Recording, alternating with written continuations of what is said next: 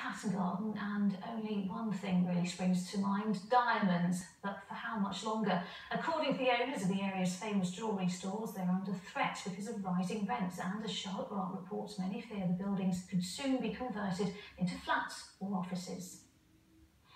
For 25 years, Lewis Malka has been at the centre of London's Diamond District. He's seen a lot of change in that time. Now he's worried the future of Hatton Garden doesn't look so bright, with rising rent threatening the jewellery community. Everyone's got a perception that if you're a jeweller, you're a millionaire because you're dealing with such high-end precious metals and diamonds. Uh, the reality is that in order for the retailer to sell a high-end piece of jewellery, it needs to go through quite a few different pairs of hands. Got your setters, your mounters, your polishers, your engravers, and everyone else that comes together to form part of the family. As a result of that, the income for us isn't particularly high, but the rents are going up.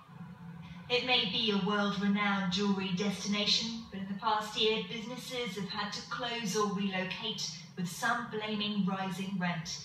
Now there are warnings the community of specialist workshops working behind the scenes could be broken up, and business leaders believe there are a number of reasons for the rise in rent. Midtown and the growth of the city, Crossrail coming into um, Farringdon, and the fact that buildings are now being or have been developed into residential properties and landlords being able to maximise their returns and the rates of um, the rates that they can command of square footage have gone up.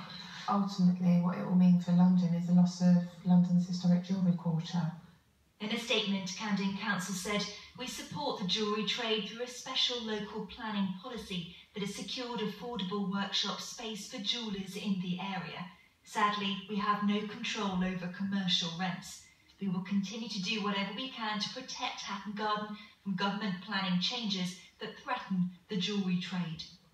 As for Lewis Malka, he says he has to move premises by the end of the year.